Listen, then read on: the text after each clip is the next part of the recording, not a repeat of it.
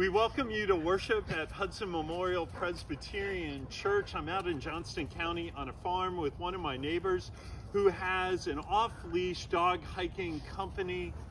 A few announcements before we begin worship. First of all, this is the last Sunday that we'll have outdoor worship through the month of February. We'll begin again in March uh, to do outdoor worship and have RSVPs for that. We worship this Sunday with all the creatures we love. We join the psalmists and rejoice with all living things. We sing with all the birds. We bark with all the dogs. We meow with all the cats and animals that make our lives richer because of their presence. Let us move from getting here to being here for worship.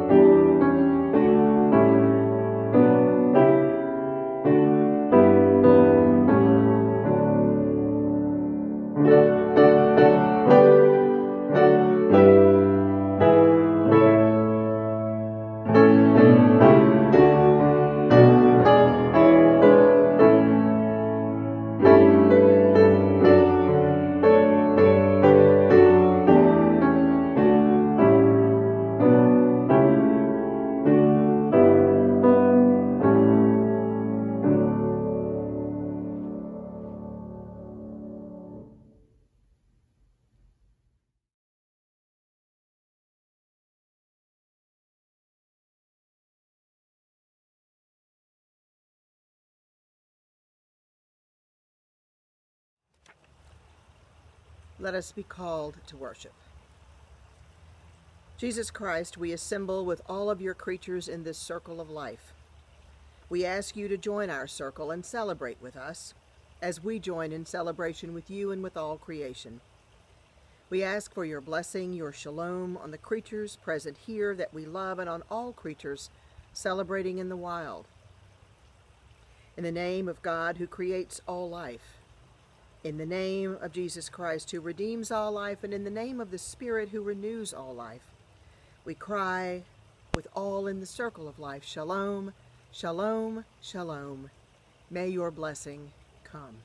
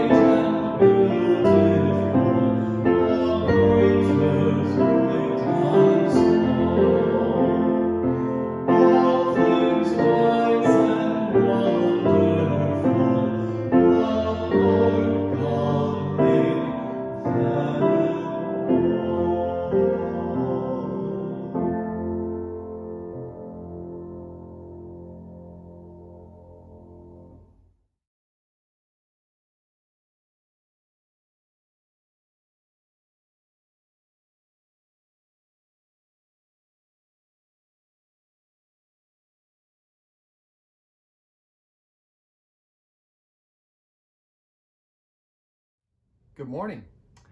Thanks for joining me today. Well, today we're going to talk about animals and specifically our pets. This sleepy little girl here is Stella.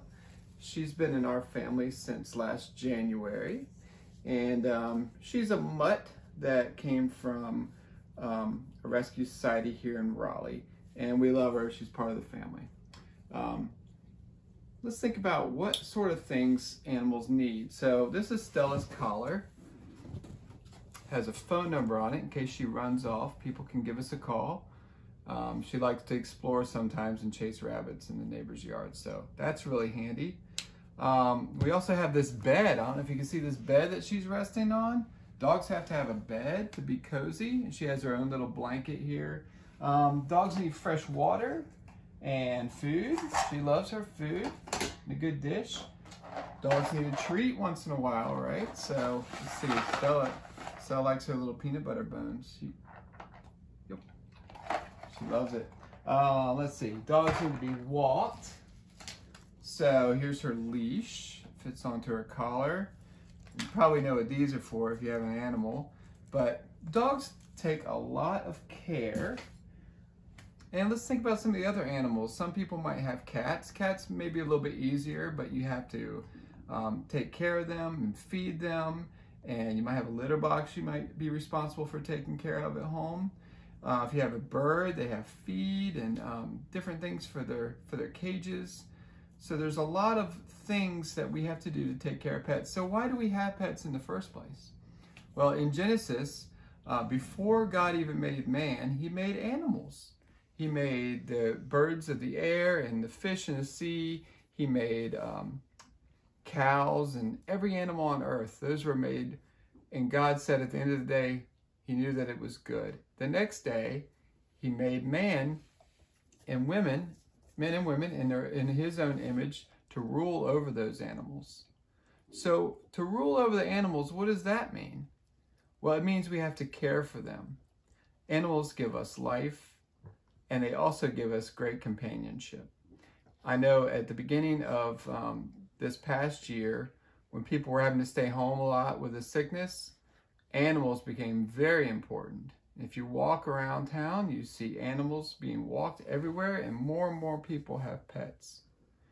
Well, um, God says uh, through the Bible in Psalm 148, it says that all the birds of the air and the creatures of the sea and the wild animals, may they all praise God. And in 150, it also says, may everything that has breath praise the Lord.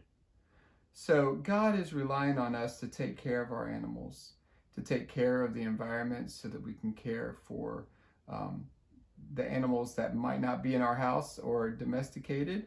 Um, so it's really important that we cherish these relationships we have. They give us so much peace and comfort, and we thank God for them, especially today. Let's let's pray. Dear Jesus, we thank you so much for giving these animals to us and trusting us to care for them. The things that we provide for them are, are aren't much in comparison to the love that they give us back unconditionally. We thank you for reflecting your love to us through our pets and to this beautiful world and nature you've created for us. Please help us to take care of it. In your name we pray. Amen.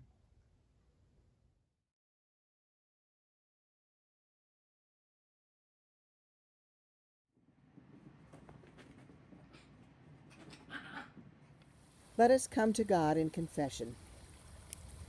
Lord, for all of the animals in the whole world, we thank you, God. Lord, for all of the fun and friendship we have with animals, we thank you. Lord, for all of the times we have hurt or neglected animals. Lord, for all of the times we have destroyed the homes of animals in the forest, oceans, and fields, we are sorry. Accept our repentance, O God. Amen. Friends, in our confession, we have accepted God's grace, and we can be assured that in the name of Jesus Christ, our sins are forgiven. Thanks be to our merciful God. And now, as we have confessed our sin and we have received God's pardon, we share the peace of Christ with one another, and as we do so, we commit ourselves to peacemaking in all aspects of our lives. We commit ourselves to making peace with our human friends, our animal friends, and indeed the earth itself. The peace of Christ be with you.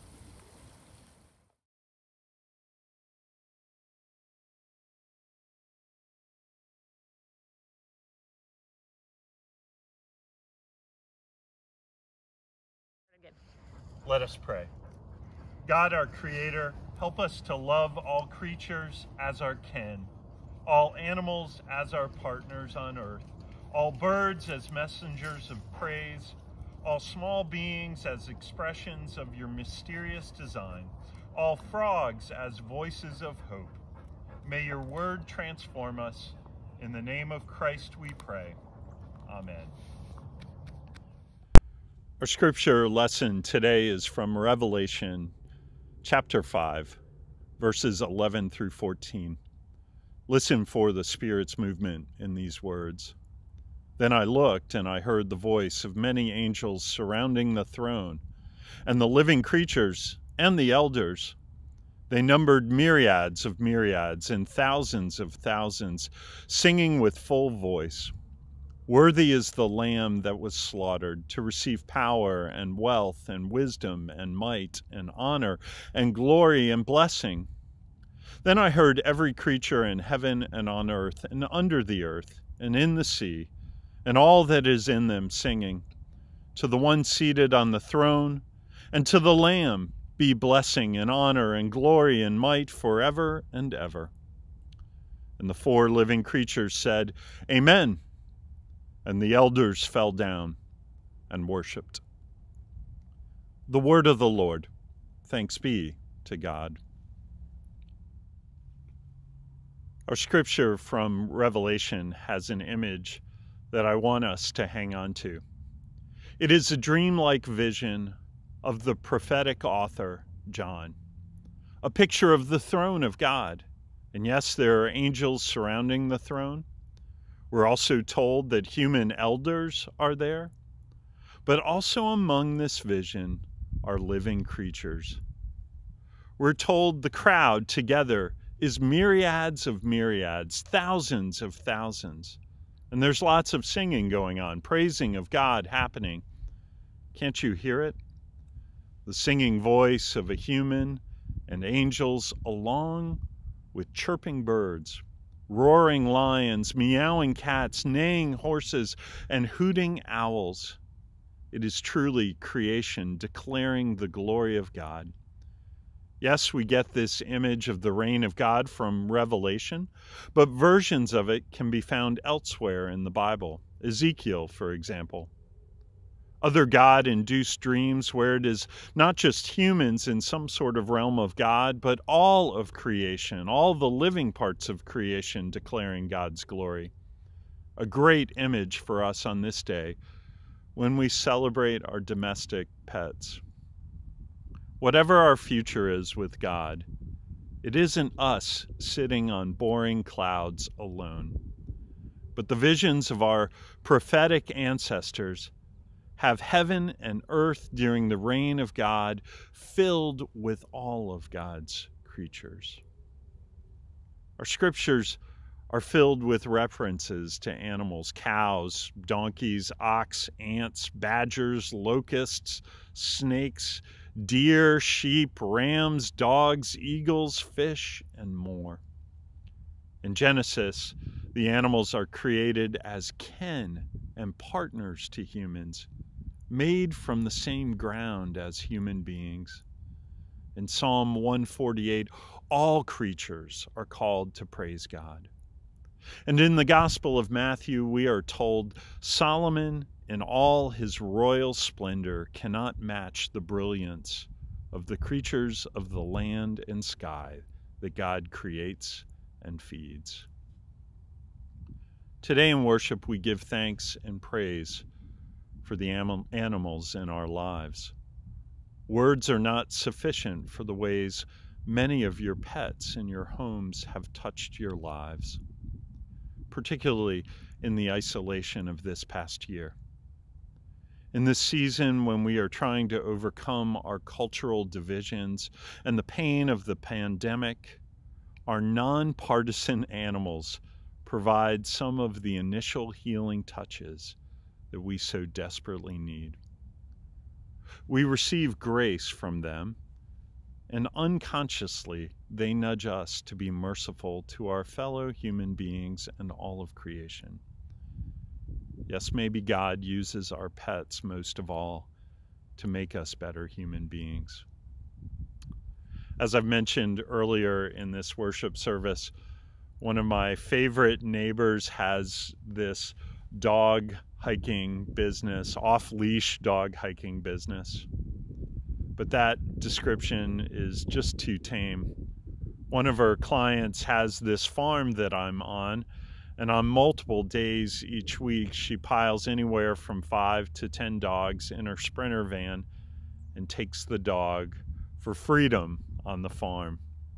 Our dog Lawson goes about once a month and thinks it's the best thing ever. He runs, he gets his smells on, he swims, he plays. Because our neighbor spends so much time with so many people's dogs, I asked her where she sees God in all these dogs she takes care of. She had these wonderful things to say. She says, It's super remarkable that you can make the worst mistakes as humans, and these dogs still love you. They allow space and grace to become more of a loving person, she says, and that extends into my human relationships. She says that for uh, her, the safest emotional places are with animals. Animals encourage you to be fully present, and the dogs have made her a better person. In a moment, we'll have a chance to bless our animals. Our human centric view of faith might frown on this act, but make no mistake, in my more holistic view of God's creative work, I don't think that this should be frowned on at all. One resource on animal blessing says this In the scriptures, the act of blessing means the imparting of the power of life. The person performing a blessing is mediating the power from God or Christ to the person or animal involved. To bless is more than an expression of goodwill and caring.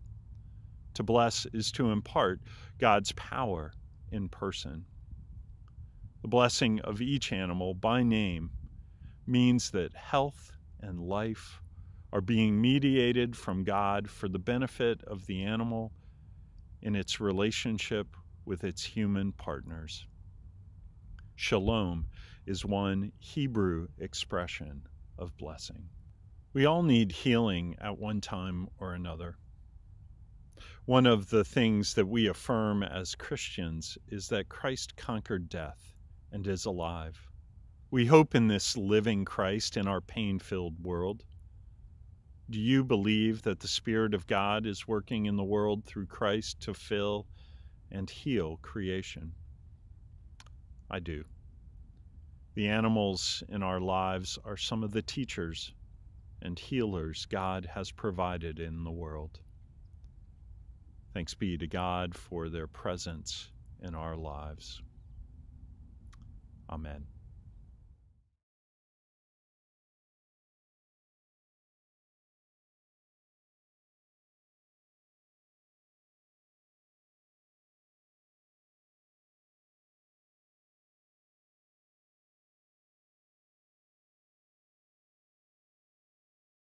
So, when you do your blessing with your pet, here's some words you can use.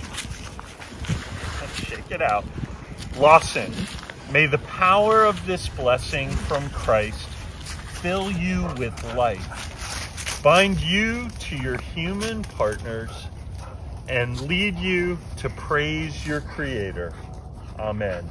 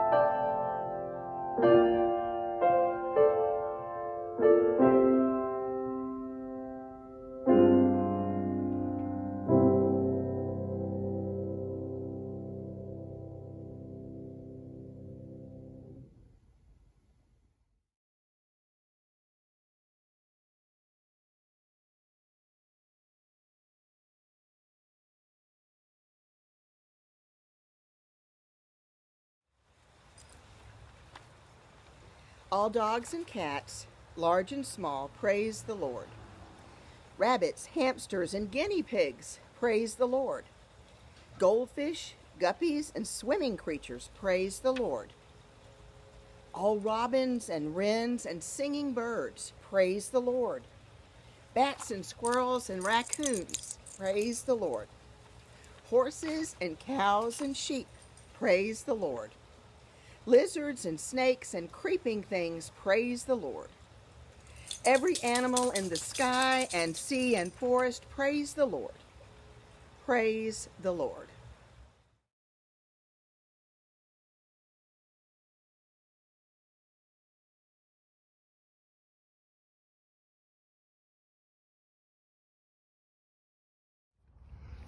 Be strong and courageous.